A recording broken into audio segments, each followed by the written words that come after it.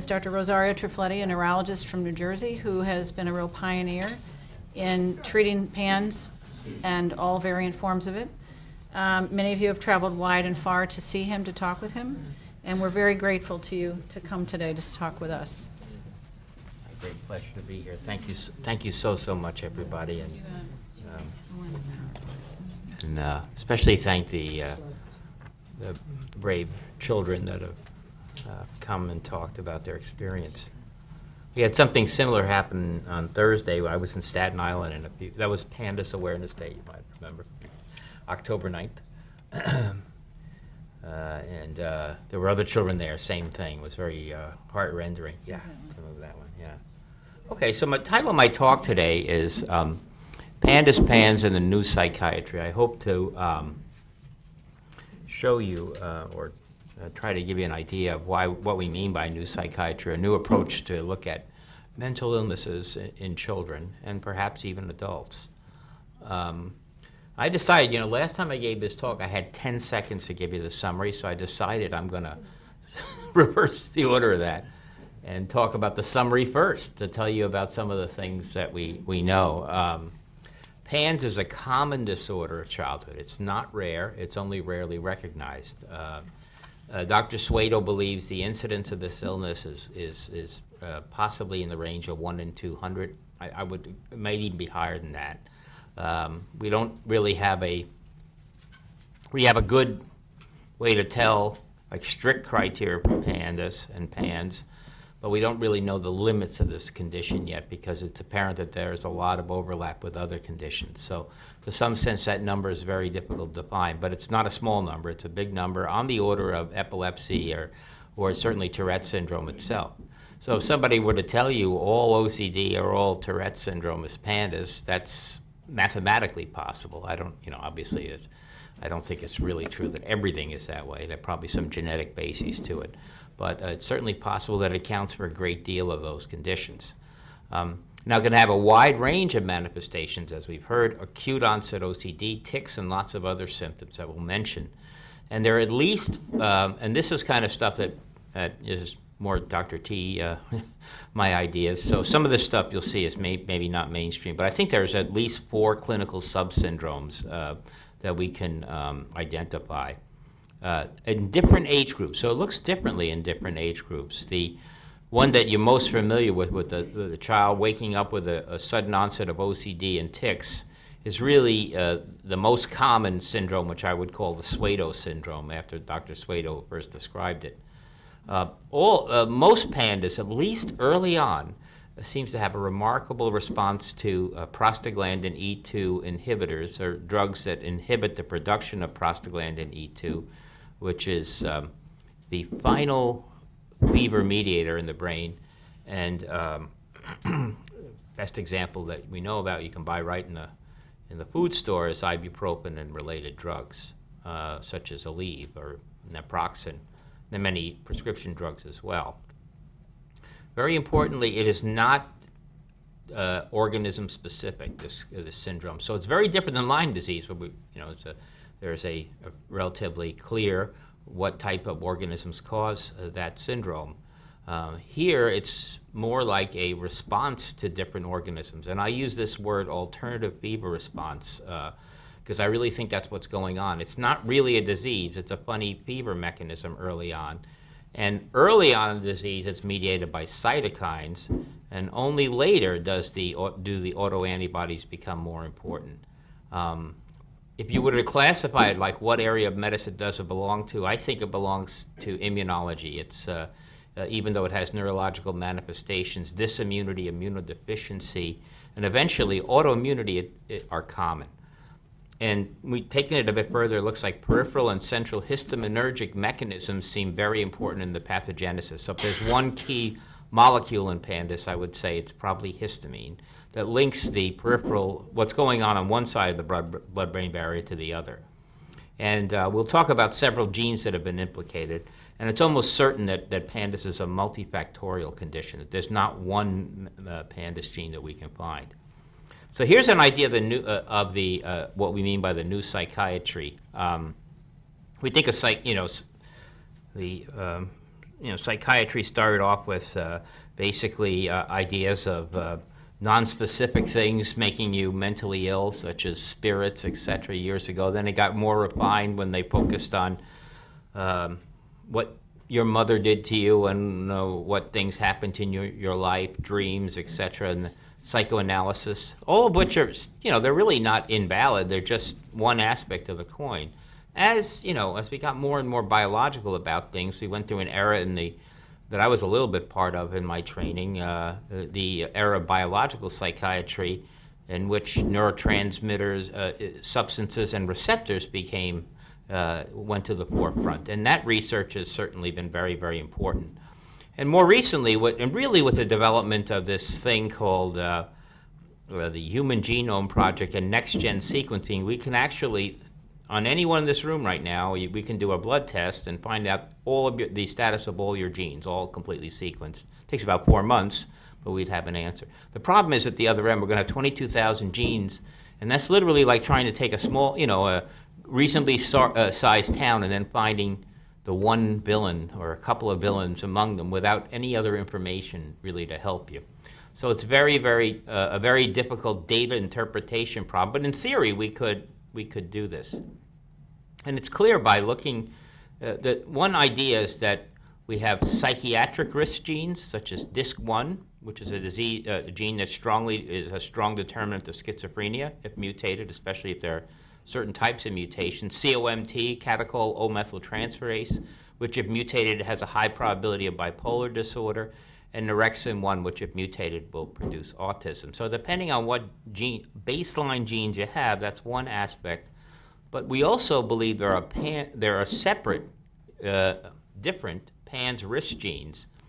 And here are three examples. NOS3, which is nitric oxide synthase type 3, a uh, T cell, uh, a, uh, a, tumor necrosis, tumor necrosis factor uh, receptor uh, protein uh, involved in that transmission called TRAP1, and hexokinase 3, which is the key enzyme of gluconeogenesis, the first step of glycolysis, of, of I'm sorry, the first step of glycolysis in leukocytes. Um, those genes seem to be, they're different. They're not listed as autism genes, they're not believed to be. But those genes, we believe, determine fluctuation of psychiatric symptoms with inflammation. So there's separate issues going on. So some of us have psychiatric symptoms determined by our gene, but then those genes get activated in some people, especially those prone to PANDAS, um, by, uh, by infection or inflammation. And so you can have the situation when someone snaps, which is, you know, snapping, having nervous breakdown. Those are kind of words that we use with psychiatric illnesses to indicate that some people have a very rapid change in, in their symptoms. So the treatment, you know, the standard psychiatric illnesses are psychopharmacologic agents, and hopefully as we get smarter uh, and we move towards uh, personalized medicine, in other words, uh, really treating what's wrong with you, gene-specific therapies. We're not there yet. I mean, gene-specific therapies are probably for the next century where they're going to become commonplace. So probably it'll happen in 10 years now that I said that. I hope so. But um, that was would be my prediction. It's probably something that's going to be, uh, you know, a, a, bit into the future to do that. PANDAS is a different idea. Inflammation, and infection is behind it. So we think of anti-infectives, anti-inflammatories, and then hopefully also gene-specific therapies. So this is a, a, broadening view of psychiatry to include uh, inflammatory triggers. And it explains a lot of the data. PANS is probably the best um, model for this, although people are starting to some of the same discoveries are being you know made in bipolar disease, and you read about how certain antibiotics are now being used in in conjunction with um, uh, with um, neuroleptics and schizophrenia, and mechanism which is not entirely clear. But I think this is an emerging emerging theme in psychiatry that that inflammation is playing a bigger picture than previously thought. I think froze on me. Oh, here it is. Okay.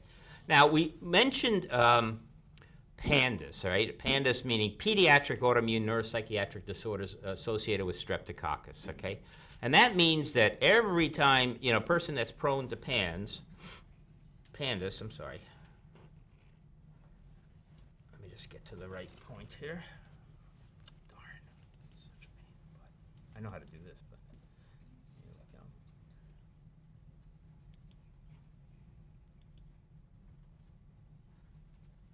pressed the wrong button here.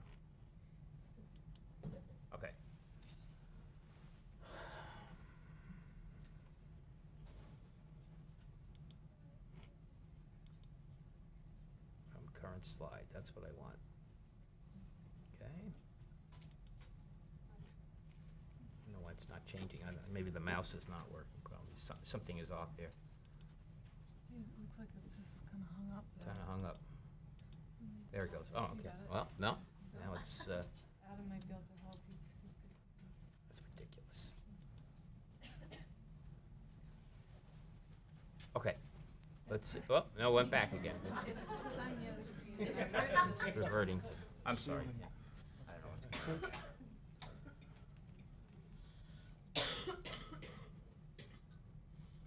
This is the one you've been doing. Yes, please.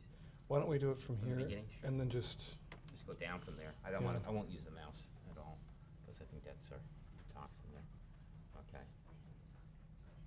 Oh, wait a minute, this goes this way. Okay, got it, okay. Uh, Now, PANDAS, as we said, wa- was defined as a pediatric disease, pediatric autoimmune, an autoimmune disease, uh, neuropsychiatric in its presentation, and associated with streptococcus. So that really basically means, and this is Dr. Swedo's uh, terminology that was used in the uh, in, in the uh, late 80s, uh, late 1990s, around 1998 or so. It had another name actually called PITANDS before that, but so but it's really still only no more than 15 to 20 years old. Uh, this condition, so you got to keep that in mind. Uh, here are the problems with it. If you use that narrow definition, you're going to miss a lot of kids. It's not just a pediatric disease. And with, with, the way they defined it is 3 to 11. So therefore, uh, kids under 3 would be excluded. There, we have many patients under 3 that, are, that have pandas. Uh, adolescents, uh, there are many children that, that are adolescents that have had onset of symptoms. I'm not sure if the case that Dr. Hardy had might be one of those, where it was adolescent onset uh, or primarily. Uh, and even adults, the, the hardest group to tell, uh, and the probably and definitely the most controversial. We have people that you know, you know, here you have to you have to take it on faith somewhat, unless you get really really detailed medical literature. But a 73-year-old woman who suddenly developed these symptoms. Now I don't know uh, if that's true or not, but we have other cases where that happens. And there are many other symptoms that are not necessarily uh, normally thought of as being neuropsychiatric, like excessive urination, bedwetting. That's thought to be behavioral symptoms. Um, we know it's not just strep, so the S is out. The onset is not always acute. That's probably the most con- another controversial point that I strongly believe in. uh, that uh, there has to be a starting point for, for something, right? It has to start somewhere. But it isn't always this overnight blast that, that they describe. When, when it's present, when that's present, it's the first episode, it's absolutely frightening because you really feel like you lost your child. Something happened. The child was intoxicated or, or somebody did something to the child. But the onset isn't always acute. After you have infection after infection after infection, it looks like it's a, it's a chronic position. The same way you say somebody's always sick. Well, they're not really always sick. They just keep getting infection after infection. They never really maybe clear the one they had previously. So it, it doesn't mean that the cold lasted for three years. It's just that they had a lot of them together, you know. No, but, you know, that's one possibility. Some infections do last a long time. Uh, so the common denominator of all this is inflammation, and the rapid I, uh, improvement uh, with ibuprofen is uh, not in- indicated in the PANDAS model. Well, I made a mistake here. Okay, I got it now. So because of this, uh, a lot of because of the pediatricians were noticing that geez it's every time i see a strep infection i don't see ocd and you know i'm a pediatrician. I see a lot of strep. They do. I mean that's one of the most common diagnoses that a pediatrician has and they see maybe 10 patients 15 patients an hour right? Every day in and day out. Or you know they, they have a high volume practice you know. And they should be seeing a lot of kids coming back reporting ocd and they weren't. So they said well this is a you know, I don't believe in this. And it, it fueled the controversy of it. So the only way out of this, and really, the parents really fuel this, okay, and the internet. People saying, uh, you know, just basically go, going to their government saying, look, we've got to do something about this. My nobody believes me, and my kid has all, you know, has these symptoms, and he did take antibiotics. He got 100% better. He must have something along those lines. So um, eventually, uh, the NIMH got sympathetic to this cause and, and uh, invited a number of doctors. Uh, you know, this was a committee meeting chaired by Dr. Leckman. Um, trying to help, who was it else? I, and I know Dr. Noel Rose was there, and then I think maybe Dr. Swedo herself. uh, chaired this meeting, I was part of it, the 2010 um, meeting, which came up with a, a new definition called PANS, you know.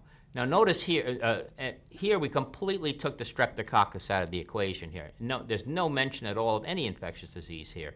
Uh, But there is acute, you gotta, and it's gotta be neuropsychiatric uh, syndrome. So it sounds, you know, like if you look at it, say, that's pretty vague, pediatric acute neuropsychiatric syndrome. That doesn't sound like a disease, it's too vague.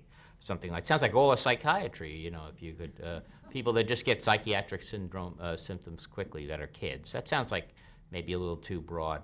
But that, nevertheless, that was the name. Now, the name Pandas is not gonna go away, because for the same reason the name Band-Aid didn't go away, because it's just a catchy name, and it's all over the literature for 15 years. It, it's not disappearing. So for that reason, we use the word pandas pans on our charts here, just so that we don't lose that, that recognition of the word pandas. So we're talking about the same thing. So, what do we mean by pans? This is actually ba- ba- basically uh, direct from um, these papers. Now, I should mention to you, we had a very highly sophisticated uh, way of determining these symptoms. Uh, basically, somebody we just raised our hands and voted. I'm like, how many people do you think had this symptom and that? So that's how I think that's the way the Lyme uh, were determined too. I mean, you know, so we think that this is some sort of uh, highly sophisticated process, but a bunch of people voting, you know, as to uh, like we could ask this room, how many people, uh, how many of your kids wet their bed, and they raise their hands, and if it was a certain high enough percentage, it goes on the list. So, um, but that's you know that so just keep that in mind that this list is not set in stone. Okay. However, most of it they decided this was the this is the criteria: two or more of the following. You had to have obligatory feature OCD. Okay. That's a problem. I'll tell you why. Those girls in Leroy that I saw, if you remember those, uh, had the sudden onset of tics. They never had OCD. It wasn't PANS, okay? So because, and there were three people in the room, okay? Three people, two of which Dr. Hardy mentioned in passing there, that really blocked the idea that acute onset of tics only could be PANS. And we know it is. I mean, you know, it's very clear by, you know, but that was the area I focused on for many years. But they refused to, that's, and the Tourette Syndrome Association too, is also against that idea. Um, so I think it can be tics in there too. But uh, so, but as it stands, the uh, the diagnosis is OCD and two or more of the following: acute dramatic anxiety, including specific phobias, panic, irrational fears, separation anxiety, very important. That can be dramatic. And the older the child is, the more, you know, if it's a two-year-old or three-year-old, you could hardly recognize it. But a 12-year-old that suddenly doesn't want their mother to leave the house is very, something very strange, especially if it's a sudden onset. Acute onset of motor abnormalities, including tics, clumsiness, coordination, uh, which is if you've I mean, in other words, uh, loss of penmanship, which you've ever seen it, is very dramatic and it recurs. Um, sudden deterioration of learning abilities, co- uh, co- concentration difficulties, and, and very kind of specific cognitive deficits. Uh, this hasn't been completely characterized, but they have deterioration in math ability.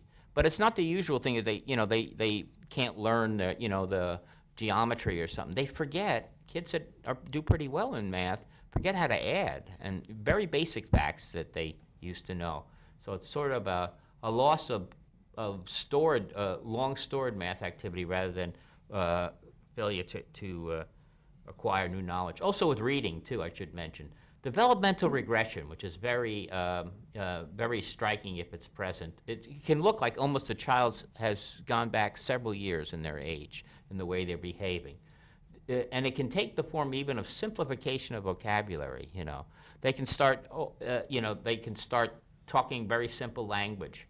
They used to call you mother, now they call you mommy, a mama again. You know, like a little baby would. Um, they can have an infantile quality of their voice and loss of skills previously acquired. So it can mimic even a progressive. When you see a child losing skills, neurologists get very worried when they see that because they think start thinking of this this uh, very large, uh, you know, but relatively uncommon area called progressive encephalopathies.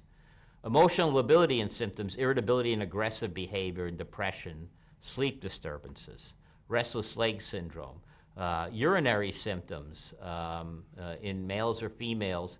Uh, there's this frequent visits to the bathroom, whether or not they're urinating. And then this one, which I think is almost a, a, a cynical, uh, this one is almost a characteristic. If there was one syn- syndrome that I could say is almost always pandas, is this weird uh, uh, thing that little girls do where they always feel that their vaginal area is wet. Have to wipe, have to wipe, have to wipe, change my underwear, you know, and, and you'd realize you're going through rolls of toilet paper and underwear, and, and, and the child is dry every time. It's a sense of, I guess it's an illusion of vaginal moisture, that's the best way to put it. But it's very, uh, very characteristic, I think, at least from what I've seen. And there may be other minor features. The only important point here is that psychotic and hallucinatory symptoms uh, um, uh, are not, and anorexia certainly do not rule out PANS. And, um, uh, however, if those things totally predominate and there's nothing else, you get a little bit worried that, you know, so, uh, and certainly once you get further away from this, you know, from the, from Main Street here, which is OCD, you get more and more worried that it might, you might be missing something else. So you need to keep a, a broader net maybe in those cases. What happened here? Okay, wait, I'm sorry. Okay. So we see that, you know, there's this whole range of presentations. This is the basic idea that OCD is, everybody has OCD, but you can have lots of other things. And if you just consider the person on the left there and the person on the right, they look totally different. And not only that, each presentation may look different. So that's why we kind of think it's the same thing, is that you can have the same person having different presentations at different times. So a child in which OCD predominates one time may have tics and bedwetting predominating the next episode. And I mentioned there that this is uh, based on looking at a lot of patients, and that's what we do is look at patient after patient for a long time. About, you know, now about 3,000 of them that we've studied as best we can, and and it looks like there's several different syndromes that occur. Um, as I mentioned, the one in the middle, the Swedo syndrome, which is what we just talked about, which is the sudden onset of Tourette- Tourette's and OCD, like you know, sort of looks like Tourette's syndrome, uh, with OCD and uh, and and tics uh, is we I, classic pandas. I mean, how could a how could a disease that's less than you know 15 years old have anything classic about it at this point? It's kind of silly. But so I think the word I would use for this is Swedo syndrome. That's what most people think about. If they know anything about pandas, that's what they would know about. However, there are other important ones to recognize. I truly believe there's an early infantile syndrome. This can happen before a year of life. That happens, it's indistinguishable from autism because it will have all the features of it and it will be called that. And uh, there may be reversible cases of autism in that, in that mix that somebody called autistic regression or a reaction to a vaccine where the child deteriorates with some of those symptoms. And I don't think you can assess OCD in a, in a person, child under one, would be very difficult. But, uh, but they behave, in many ways, they recover and with some of the very same treatments as pandas. So I would strongly advocate, in fact, we're trying to start a program um, as part of what I do call the early bird program, where we're going to take every kid, the second we see them regressing, we're going to have a system for them to go into and get tested for this. Because I think there's too much of a wait as it stands now. Is I think about somewhere between, I might, I'm just guessing about a fif- 12 to 18 month delay between suspicion of the parent and the word autism being formally said. That's too long, I think. So we have to do something about that. And I think this is, is part of it. There's also an infantile mania syndrome, where the child who's, who's usually quiet, suddenly at age two or, you know, terrible twos are over, now it's time for this. And then the, uh, the child gets this sudden onset, and I'm talking about ADHD, uh, uh, hyper, I, I, that's the wrong word perhaps, hyperkinetic behavior, which I would say is almost bordering on mania. It's intensely hyperactive. They're jumping on chairs. They just can't wait to, they're never restless, these kids. Uh, many of these kids actually end up having an autistic-like regression, and they have a very atypical and bad response to stimulants and SSRIs. Um, uh, so they would be usually quite a bit later, later than the, uh, than the uh, upper limit for, uh, uh, for the classic autism diagnosis, typical autism diagnosis, but that's present too. And we have, these seem to be largely boys, although there probably are girls too with this too. So you wonder if this is, with the boy predominance with this, if this is actually a fragment of autism. But this is salvageable if you catch it early. Um, then there's Swedo syndrome we mentioned, adolescent onset, kids that are completely normal until they, you know, something happens. They apparently, you know, do great in school. These are often kids that are superstars. Not only do they do great, they're great athletes, they're great people, and everything seems like the, the world is their oyster, you know. and, uh, and then something happens to them. You know, Kovacevic, who's Dr. K, if you are in this world, you heard of him uh, in Chicago.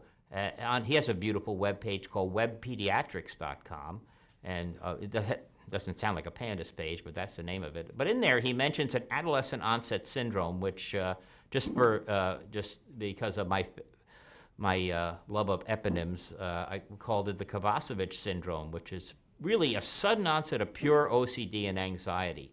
Now, what happened? So that's and that is uh, it, it has a characteristic period where there's some sort of GI disturbance of some sort, and then the OCD gets overwhelming, and the child is usually out of school within a year. You know, some wherever they it may be college, it may be late onset of high school, but it's a dramatic change from an A plus student to a student that's non-functional and out of college, where anxiety is overwhelming. It's a it's a pan, it's pan, the PANS presentation. Also, the Leroy syndrome. Uh, I mentioned that because of this cluster of girls that got in the news where they had the onset of pure motor tics, very violent, wild tics associated. Many of them also had POTS, by the way, too. But they all had PANS, every single one of them that I saw. And those, both of these conditions, by the way, are readily can be used for conversion disorder. So that's what those will look like. The other ones look like Tourette's OCD. The, the ones on top look like mania or, or, or ADHD. And this one looks like conversion disorder. And then I mentioned the, um, uh, the uh, adult onset PANS, which is really poorly understood. Uh, but I think, I think it exists, but it really, we don't really know for sure. Uh, then we have something, the most dramatic part of PANS. I don't know how, how many of you have ever had this experience, but the exorcist syndrome. These, which is a, that's a, probably a silly term. I, I made it up in, a, in an abstract. Uh, uh, for acute crises, acute pandas crises, which, which would be kind of the pandas equivalent of seizures, a chemical storm in the brain where the child suddenly will go into this rage state where they're smashing the walls and cursing and, and their voice changes and their voice can get grrr, a monster or change like a little girl and, and um, then all of us, and you know, it's just extreme. Um, uh, pupils are dilated, and then it stops very quickly, and then I'm sorry, mommy, you know. So it looks like it has that on-off quality of a seizure, very rapid. This thing too, and it usually indicates severe PANS. Yeah. So all these things help us. Once we recognize these things, we can uh, we can know at least to put that on the differential diagnosis. Now, some of these other things, you know, we got to be careful. Let's say the uh, the person with Leroy syndrome also started hallucinating. You know, there are many other things in differential diagnosis. So we have to have to, but that you know, these are the things in which I would put pandas on the list. Now, there's as time has gone on, we've also recognized that this gets more complicated. That PANS, as we start reaching the edges of it, uh, starts melding into other syndromes or becomes part of other syndromes. This is a, the most important one, I think, is called PDD PANS. It may not be uh, really, uh, it's autism with PANS superimposed. You have a, here's the, sto the story is typically a, a, a, maybe a child who's nonverbal with autism, but whose behavior is nice and calm. He's the most pleasant child really easy to get along with that one day gets infection and then becomes this raging monster that destroys your house you know and really really very difficult to deal with. His entire you know he's in a, in a school is doing you know re- reasonably well then has this crash and now can't really is so bad his behavior he can't go to school anymore. And there's really no place for a child like this. And that i think is we recognizing more and more that that's pan. So we can treat that component of it uh, then this thing, which you may not have heard of, I made up a name for it again by the neurosurgeon who, because it's a neat name. I think he has a nice name, Fraser Henderson syndrome. That sounds pretty good, pretty important, right? anyway, it, has these features, and I, uh, it has uh, the association of all of these things. Ehlers-Danlos syndrome, type 3. What's that? These are kids that are extremely loose and double jointed, very, very flexible. They can do all these fancy uh, tricks with their hands. A lot of them have Arnold Chiari 1 malformation. What's that? that that's, a, that's a hard neurosurgical disorder in which there's, there's, uh, uh, there's um, ter- uh, total or partial herniation of the cerebellar tonsils through the hole in your skull called a foramen magnum that produces all sorts of symptoms, including headache. POTS, postural orthostatic tachycardia syndrome. Almost everybody with this syndrome has this. And PANS, POTS and PANS is the other way you could, that's another version of this. That should be, uh, I'm sorry, uh, just the way it worked out. I didn't make, those, those eponyms were made in- independent of one another, and they seem to come together. Um, mast cell activation disorder, which is very interesting, that has to do with massive releases of histamine by mast cells to relatively minor triggers. That could be mold or other things, or, but or they tend to have tremendous hyper uh, reactivity to medications. Many of these kids have chronic regional pain syndrome and dysautonomia, which is part of that. The other word for that is causalgia. Somebody that gets an injury, or may, might be a focal injury, then gets pain that has no explanation and goes on and on and on. It's well described, that syndrome. And this is definitely a syndrome of adolescent girls. I think some of the girls in Leroy had this. I didn't recognize it at the time because they had a lot of them had POTS. A few of them had POTS. Uh, and now, what would this look like? It's like that's a lot of things there. You know, if you didn't do all the testing, you'd say it's a somatoform disorder, just a positive review of symptoms in an adolescent girl. So buried in the somatoform disorder, maybe this is relatively common. This uh, syndrome doesn't have a name yet, but it's being studied intensively by uh, people at Johns Hopkins as well. So um, this is not this is something that people are taking seriously, and they're very there are aspects of this that are totally objective. I mean, you can do a test to tell if you have an RLKRE1 malformation or not. But it seems to be a strong association. Then we have the PANS immunodeficiency syndromes. PANS is, is uh, I would say, is an immunological disorder or an immunological state, uh, abnormal state. It's associated with several different uh, immunodeficiency syndromes. SADNI stands for Selective Antibody Deficiency with Normal Immunoglobulins. That means you have very low levels of antibodies to pneumococcus and other streptococcal antigens, but normal levels of immunoglobulins. These are people that don't recognize strep or pneumococcus as foreign bodies. They don't make antibodies to it. So the kid will have a positive strep throat, but no antibodies. So that and that fools a lot of people because if you you know they may have a you know they may have a negative culture with that occasionally as well uh, if they're strep carriers, and yet they don't make antibodies. And we can tell that by looking at the pneumococcal titers, uh, which is a deeper test. CVID, common variable immunodeficiency disease, which is, uh, is, is defined by its symptoms. It's, it's thought to be a very heterogeneous condition that's like a wastebasket of things. If you have very low levels of IgG, very low levels of IgA, M, and E in subclasses, and also SADNI as well as part of, some people think is part of that syndrome. 5% of kids with PANDAS has that, and the general population is 0.1%. So that's one aspect of it.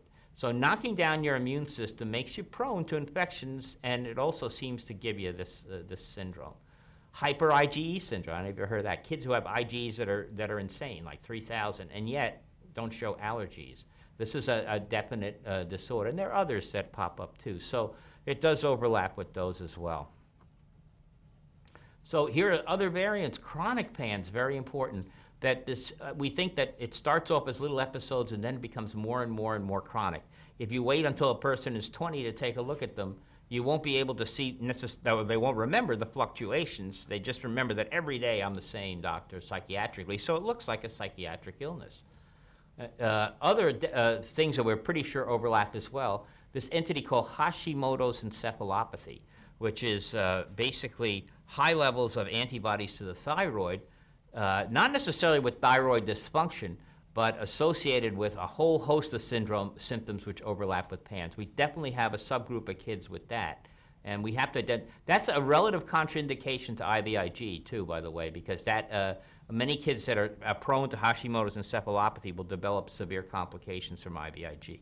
Uh, it overlaps with neurosarcoidosis. We have many patients that have some of the symptoms of that as well and other uh, autoimmune encephalopathies.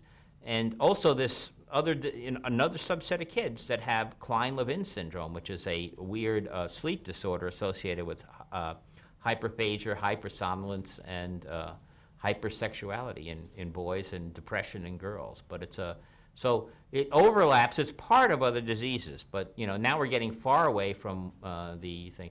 So we actually decided to get data. That's what, I'm doing. We have th th 3,000 patients that we've studied now. Everybody, pretty much everybody I see in my practice is this way. We have a subset of LabCorp, patients that got their test from LabCorp, patients that got it from Quest and elsewhere, those that I haven't analyzed yet. So, so far I'm just going to show you the LabCorp subset of this, which is a pretty big number too, 674 as of, uh, this was back in March.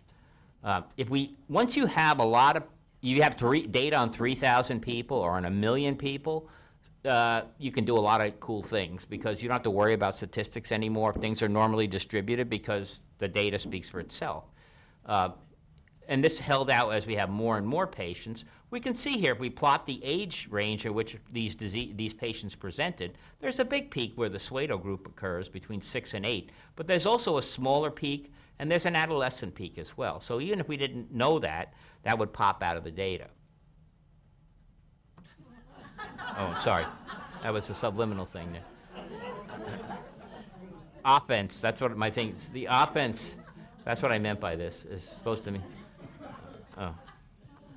But the, offen- the offensive side is the bugs that cause this. So uh, this is strep. This is a plot of 674 people of strep titers, uh, and uh, notice there are there are a bunch of kids that are very very low here. We can pull out the low strep responder group from the set if we have enough data. Um, this is the actual data on what is what you know. We measure stuff, a lot of stuff on kids. What actually causes PANS? Uh, uh, this is the um, in this case. So the, uh, we're looking at we measured tw- uh, uh, 35% of kids had a positive ASO, uh, 35% had a positive anti-DNase B. Oh, thank you. Yeah, yeah. Thank you. Uh, uh, 35% had a positive anti-DNase B. About half of them have one of those two strep titers. So that's a useful test to measure both of those two, and you'll catch about half of the patients with that. About uh, 75% of patients had positive IgG for mycoplasma. Only 12% had positive IgM. Now that's tricky. Mycoplasma is tricky because you can have an acute infection without an IgM rise, just an IgG rise. So that may be a higher number, but it's at least 12%. And this is, a, you know, uh, of cases have a positive mycoplasma.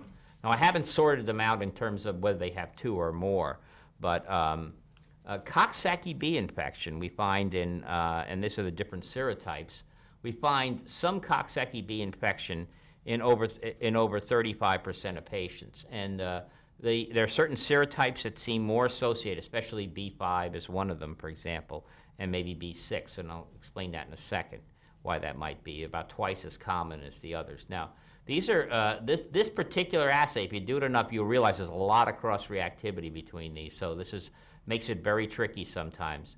And it's possible even that there may be cross-reactivity with this assay with the EV-D68, which is not far away. Uh, it's also an enterovirus like Coxsackie, so there's a possibility that this might spill over uh, to some of our titers there. Um, uh, Lyme. Now, this is just, now we heard all very nicely before all the caveats of diagnosing Lyme.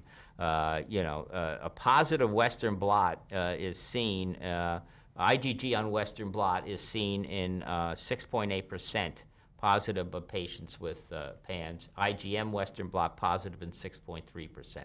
So whatever that means, that's just the association. It's probably, a, uh, this is now by, uh, by CDC criteria, so this is probably an underestimation of things.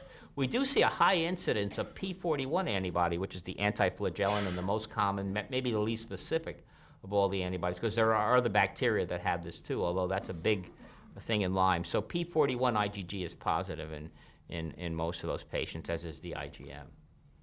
Um, uh, so as I um, so as I mentioned, the, the uh, as it falls out, Streptococcus is number one. Probably the virus viruses Coxsackie is number two. Other cases, there are other things though that can do it. Uh, QDBV in a, in a proportion, maybe three percent of cases. Parvovirus is the only agent in 2%, CMV, in only one case I think we had. But if you, once you know this list and look hard enough for it, you can find, you can find the answer in, in almost 90% of cases now. So there's like 13% that are still cryptogenic. It means everything is normal, yet clinically it's PANS. So I should emphasize that PANS is a clinical diagnosis. It doesn't matter what we find here. This is just supportive, the same way you think of Lyme as a clinical diagnosis, and all those other tests are nice, but they don't, they're not definitive. Now, this is an, I mentioned Coxsackie B virus. Why is that virus so bad? Uh, here's an interesting, and this is there's getting more uh, information on this, that there's a cross-reactivity between Coxsackie virus and group A strep. Uh, in other words, you make antibodies to the Coxsackie virus, and the body thinks you're infected with group A strep. And in fact, you can get all the same syndromes, including basically a Coxsackie B rheumatic fever picture from, uh, uh, from that. So that may be part of the reason why that particular virus is, uh, is particularly important. And uh, we have many patients that have been triggered by that. So we definitely treat it if we find it. So this is, gives you an idea, just, a, a- just in a graphical way, of what might be going on. Now, at the very top here, something I didn't talk about because I don't have enough, I didn't have time to make up the slides. But um, sinusitis, we're starting to recognize that uh, pneumococcus and staphylococcus, which were not classically on this list, may be, in fact, even more important than we thought. Because after all, uh, they're, they're really the organisms that are, are, uh, uh, that are uh, in the sinuses is a very difficult place uh, for the body to treat. And you can have chronic sinusitis for periods of time leading to repeated inflammation. This is just to remind us where the sinuses are. There's even a sinus behind here called a sphenoid sinus that you can't see. The maxillary sinus, have you ever had sinusitis and your teeth hurt? That's why, right there, because it's above your upper teeth. Um, the, uh, th- these, this one hurts a lot. I know you know what that feels like. That's the pain right between the bridge of your nose or the ethmoid sinus and the frontal sinuses.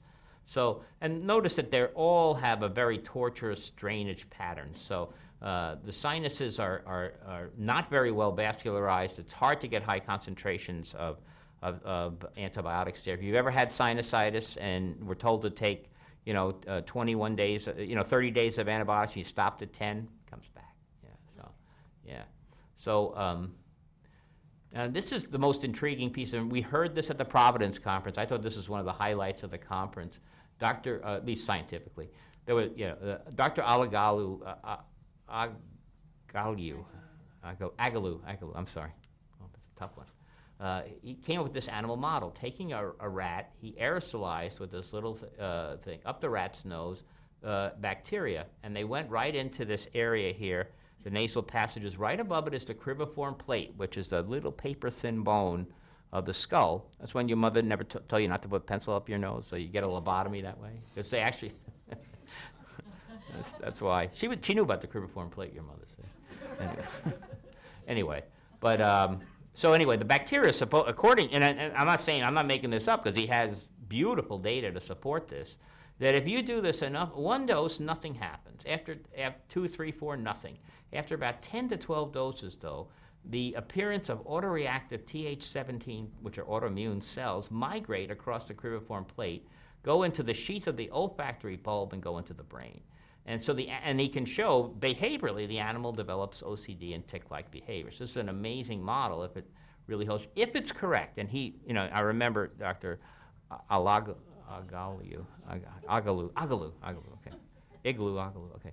Um, uh, he. Uh, he mentioned that he'd love to test this, this happens in humans, but it's hard for me to believe something like this wouldn't happen in humans. So that makes us focus again on the sinuses. Now, how are we going to find out about uh, sinusitis? Well, one place you can go is where they don't give Pneumovax vaccine, which is Benin. This is Africa experience in the la- this is a recent paper and shows that Staphylococcus is 20, 30% of chronic sinusitis and pneumococcus 22%, by far the most common ones. So pneumococcus we're testing for, staph or not. I think staph is under-recognized here, and I think we're going to have to change our workup a little bit. Now, this is, this is a little bit more of that. Uh, now the defense side of the picture. Okay. Uh, total IgG levels. This is the data in kids. Uh, uh, the uh, they're normal in 90%, and their uh, and IgG levels are low in 9.2 percent. Uh, uh, IG IgA levels are low in in 12 percent, but extremely. But the I, total IgA deficiency isn't any different than the general population. Uh, that's a relatively common immunodeficiency. And uh, we see other, you know, low IgM in, in many patients. And these numbers, by the way, should be about in the general population, in the ballpark of, except for IgA deficiency, about 0.1%. So they're much higher. Immunodeficiency is part of, uh, 9.2% are hypogammaglobulinemic when age corrected, and 5% meet, meet, meet criteria for CVID. So why do, we test it for several reasons. These kids, we know we're going to find s- a high risk of finding some. If we have this, IVIG is good to go with this because the insurance companies cover CVID. So we always want to check this. These are the kids that definitely need IVIG. Uh, e- even the low dose one that boosts up the thing, you're going to see this. Um, and then there's this other, I don't want to go into that, that's just too detailed, the Wiskott Aldrich group. And uh, We see IgE abnormalities in PANS, which are interesting. There's a subset of very low IgE, which has never been really discussed before, that pops out of our data. It's pretty clear if you look at these a lot. There's a pattern there. 20% of the kids uh, have uh, IgEs less than 10 in our PANS patients, which is, is very low and much lower than the general population. Doctors, of course, have been focusing on this group, really, the al- atopic allergy group. And they're there too, 29%. And then we have this small, but you know, if you see enough patients, you find them hyper IG group over a thousand, uh, where and often in those cases, if you look for the source, there's no uh, there's no obvious uh, true allergy to anything. It's almost like a non-specific response. So overall, there's a high incidence of dysregulation of the IgE system in PANS.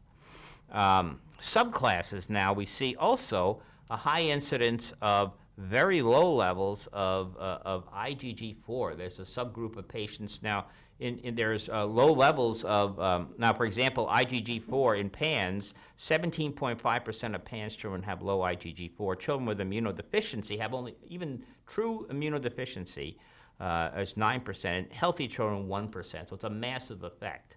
And furthermore, if you that's the spectrum of IgG4 and IgE in patients, and you can plot them against one another, and this is a lo- very highly statistically significant because of the numbers. They're correlated with one another. Low IgG4 and low IgE go together. Um, and see, actually, you find this. Um, and IgG4 uh, 4 versus IgG, uh, IgG4 production. IgG4 is actually a, a, a type of allergy antibody in and of itself. It's, it's, it's used to measure food allergy panels, et cetera. And, uh, and, it, and they're sort of dually regulated, the two. The final decision the cell has to make is I'm going to make IgG, IgE or IgG4 uh, a B cell in its final step. And that decision is regulated largely by something called interleukin 10. So I, we know interleukin 4 and interleukin 13 promote IgG4 and IgE class switching. So that's the decision to get to that point. And then the balance between the two is determined by interleukin 10. And we see exactly that. We see uh, low interleukin 4 in these patients, low interleukin 13, and low interleukin 10. So we could describe it, if we had to say it in a sentence, the pandas immune state is an anti-allergy or anti-anaphylactic state. It's as if it, it- the body has shut off the, uh, the ability to do anaphylaxis. And this is the idea. We have a basophil pool under the influence of interleukin 5 that can make interleukin 4 and 13. And we also have this mast cell pool that under, under the influence of. In, now, the mast cell pool makes interleukin 10. So, uh, so the other thing that I didn't tell you here, too, is that the. Um, we don't, can't really measure mast cells directly in blood. We can measure basophils. They're always extremely low in pandas. That is the probably the most prominent of all the lab findings that you can easily do is low basophil numbers. But we also mentioned the interleukin 10. We reason that the interleukin 10 must be low. So that must mean that there's somehow there's a uh, a, a, a reduction, I believe, in both the basophil pool and the mast cell pool. And both of those, those are the, uh, the main known sources of histamine. So we have a situation where histamine comes out as the, uh, as the important uh, mediator molecule that pops out of this data. Um, so uh, we, uh, there are two competing uh, ways in which PANDAS uh, happens. We mentioned the alternative fever response. Now, I'm, just to reiterate, that we see low IgE, low IgG4, low IgG2 as well, and low to absent basophils. And the presumption, although we're trying to measure it now, and it seems to be coming out of the data, that they have low peripheral histamine levels, these patients. Not high, but low in a lot of patients, um, dysregulated. So the idea is that under the normal immunophenotype, meaning that those levels are normal, you get a trigger, and uh, a whole bunch of these triggers, pretty much anything that could produce a fever, gives you fever and malaise, the usual response. However, the same thing in a different host gives you PANS. So the same triggers that would normally give a fever. And that explains why you ever notice a, an infection go through your house? The, the normal kids get the fever and they get sick, and the PANS kids get just get the PANS they don't get the fever. So it's one or the other. Uh, so uh, we mentioned this, the low histamine and, or deficiency somehow in the basophil pool. So the reason I'm doing this is that we're trying to come up with scientific hypotheses. Even if these are wrong, they can be tested, you know. So um, we mentioned now that it looks like PANDAS has stages I'd say this because of, uh, we recognize kids that we caught right away. The parents read about it, they, acute onset of tics, somebody Googled uh, that, and within a, a few days, the kid's in the office. This is a cytokine dominant phase. This, in this phase, uh, the disease is, and this, both of these things, not, it's not like we go from one stage to the next. They're all going on together, but this is the one that predominates early on in the disease. And in this case, it's very reversible with ibuprofen, and with, and, and it's locked to infection. So every time they get an infection, tick, tick, tick. When we see that, or we see a great response to ibuprofen, we're happy because we know we're still in this phase. Then it seems to go into an auto-inflammatory phase where it, where it doesn't really lock into anymore with the infections. Uh, like the relationship between infection and disease is not as clear. And then in the final stage, you have autoantibody uh, dominant phase. And we can tell these phases, this is, the, for me, the key role of the Cunningham test to determine which stage you are in the illness. So if you are at this point, there's no need to do IVIG in a patient like this. There's, it's overkill. And I think 80 to 90% of patients are at this phase. When you get to this phase where, the- where you've got lots of autoantibodies, it's going to be hard to get the patient out of this. And there may, you know, there may, this we don't know. Uh, most likely, very few or no patients ever get here to this point where they have irreversible brain injury. But I don't want to be, you know, 100% to say that's not happened. By and large, PANDAS is a reversible illness by, by one and another, and the outcomes that you saw in that boy are pretty, pretty common. Um, so here we go, cytokine dominant phase. The Cunningham test usually shows the elevated CAM kinase but low autoantibodies. And, and and then you start to see other autoantibodies that may appear in the autoinflammatory phase. So you may start seeing antithyroid antibody, a, positive ANA, et cetera. In the auto in the autoantibody dominant phase, you have high antibodies to those uh, those as well. And uh, the irreversible brain injury may be basal ganglion thalamus, and they may take years to develop. So we don't have enough follow-up to tell about that. So we can more or less look at a kid, determine I think they have pandas and what stage they're at, and that determines the therapy. Then you know. So just the, the treatment then, uh, because we haven't talked that much about treatment. I know parents want to hear about that. Early on, uh, we give antibiotics and, uh, and, and uh, cytokines, treat it like a fever. Find the course, you know, pretend the, ill- the PAN symptoms are a fever equivalent, just like you would say a migraine equivalent, et cetera. Doctors know that. And uh, so provide acute relief and treat with uh, antibiotics, antivirals, or others. And prevent it, in, in, especially in kids that are, have immune, an immune situation that's prone to it, prevent it from happening again with rational pro- prophylaxis. As much as possible, avoid neuropsychiatric uh, agents if possible. May not be possible if your if your kid's presentation is jumping out of the car. As a you know, we had a kid that uh, his very first presentation of pandas. He got up the school bus first day of school. He ran across Route 80 and ended up in a. It, it took three cops to get him. You know, uh, three an hour to get him down in the mall. Just that's how intense the anxiety was. But that that kid clearly uh, needed more than just. Uh, Motrin. so uh, anyway, so the autoinflammatory phase, uh, we treat it more like an inflammatory disease. Here's where the NSAIDs and steroids will come in. Um, find the trigger, treat the trigger. Once acute infection is treated, uh, you can consider immunoglobulin therapy uh, uh, or, or something at this point. Again, uh, try to avoid the neuropsychiatric agents. At this point, this means it's going on a long time. The, here's the story you usually hear. The antibiotics used to work, but now they stop working. And uh, you hear that a lot, and that usually means it's going on a while. So you treat it like an autoantibody disorder, uh, similar to other ones that we know about, and the treatments are similar depending. So IVIG is favored if you have a CVID picture. Uh, CVID, uh, IVIG, you're actually giving antibodies, remember. In plasmapheresis, you're, the other treatment, you're taking them away. So a person has CVID, 400 level, and you give them plasmapheresis, they're going down to 200 or 150, and then they're a boy in the bubble, basically, or a girl in the bubble, you know, whatever. And, and, and they're going to get a lot of illnesses that way. You don't want to do that. So you really have to look at the, you have to pre, uh, you have to pre-evaluate these patients carefully. We have started to use stronger things like Cellcept and, and rituximab. That's rituximab and IVIG is probably the the ultimate treatment at this point for pandas. They may be trying other ones um, as well. Rituximab is a, an, is a mono. Whenever you see this word MAB at the end of a thing, it means monoclonal antibody. So it's a artificially made antibody. In this case, to CD20 antigens, which is B cells. So basically what you're doing there is you're slowly destroying B cells for a period of time. That's equivalent, if you think B cells make the antibody, so that's equivalent to slow plasmapheresis. And it works. And uh, you can monitor it. And the, these patients sometimes get better. Um, okay. So we mentioned the summary here, and uh, you know, just uh, to the histamine story. Just one more second here, and we'll stop. Uh, histamine is critically important in Tourette's OCD. This is the most important paper written on Tourette's in the last 50 years, as far as I'm concerned. It, was came from the Harvard group and, and Yale a collaboration. Histidine decarboxylase in Tourette's sy syndrome. If you take histidine, if you look in this, in this family, they had. Um, I took out the slide here.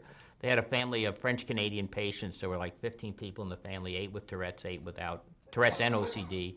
And the one gene that they found after looking for dopamine genes was histidine decarboxylase. And so this, since we know histidine, de, this is a human patients, right? Histidine decarboxylase is one gene, we know that for sure, and it's only expressed in the brain in one place called the ventral tuberomammillary nucleus. We know that for sure by neuroscience studies, and we know all the connections of that nucleus. We know the panda center, therefore, in the brain. This is sufficient, or perhaps, but perhaps not necessary, to cause pan, the exact symptoms of PANS. Because one, one weird thing is, why do these kids get OCD? Why not just depression, or just like lay on the floor, or some other, or start, you know? This is why, because histamine does this to you when you, uh, partly uh, that way. So this shows us the, uh, histamine contains these little, uh, these little granules, like those uh, little uh, those little ice cream uh, things, those dots. Uh, remember those little dots, micro dots? They're like little, little dots of histamine that they release. What they do is they, the IgE that we were talking about before, or the IgG4, will bind to the antigen and cause this massive degranulation. And that's why you blow up and, and with, um, with that. There's one gene, so therefore defective, uh, and you also, with this, you also, you know, because you have histamine in your gut too. So these patients automatically have defective gut histamine synthesis and also defective immune system histamine synthesis. So it's not just the brain. Their mast cells are not working well. Their, eosin their uh, basophils are not working well. Their gut is not working well because it's, it's like being on uh, massive doses of antihistamines. So it points to, as I said, the ventral tuberomammillary nucleus in the, in the posterior hypothalamus as the seat of PANDAS. You have to say the locus of this disease, where is it? It's not in the basal ganglia, but it's here. And, uh, in, and it's, that's in the hypothalamus. And that area, of course, since neuroscientists have been studying it for the last 30 years, it's relatively easy to study because you can do special stains for HDC. And since they know this is the only source of it, you can find out where the neurons project. Well, they go to the basal ganglia, as a striatum is a big place.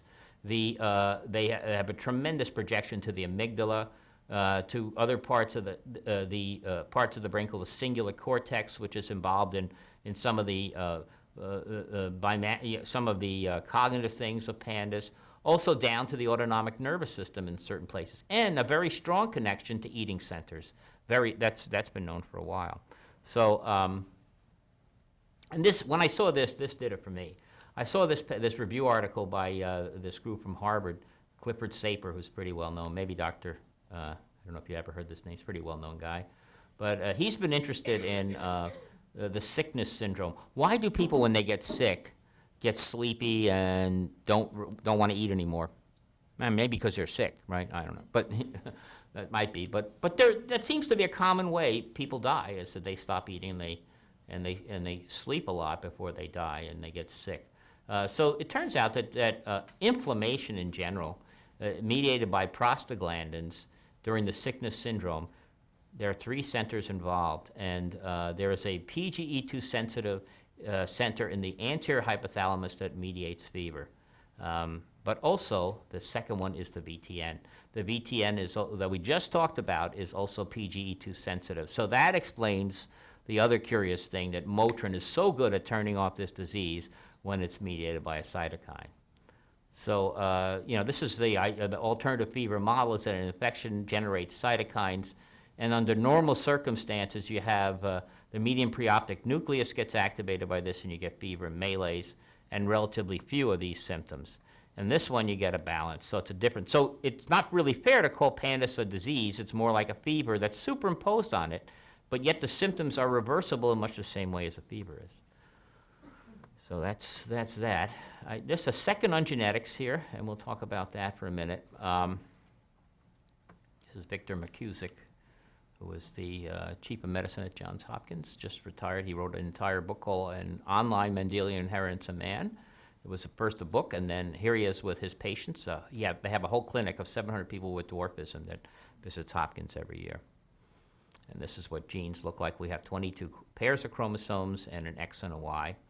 And uh, one test you can do on a lot of patients today, it should be done on every patient with autism, is something called CGH, chromosome microarray. What this is looking for, it's a, it's a blood test that'll come back in, that LabCorp and Quest run, you don't have to go to any fancy place, uh, that's looking for uh, deletions of a certain size in patients. And in this patient, uh, I crossed out the name for, for reasons, but this patient, a delete, a, uh, a, a duplication in this case, a microduplication, three copies of a gene between those two coordinates. Now that's like uh, mileposts on a highway. If you got lost on in the middle of the night on the remote New Hampshire highway, and you have to tell the cop where you are, you look at the milepost, right, to tell them. But we actually have. Um, this is too much information. We've done microarrays on hundreds of patients, and we find in pandas patients a tremendously high, unexpectedly high number. 15% of them have, uh, uh, a uh, no, it's 40%. It's probably the number's more like 30 now as we get more numbers. But a, an unexpectedly high number have, uh, have deletions on microarray. And the area, the hotspot, seems to be in the, in the region around the Prader-Willi region, which of all places, the Prader-Willi-Angelman region, the the no- you know if you know anything about Prader-Willi syndrome, it's it's an incredible uh, obsessive hyperphagia syndrome. So it's right in that region too.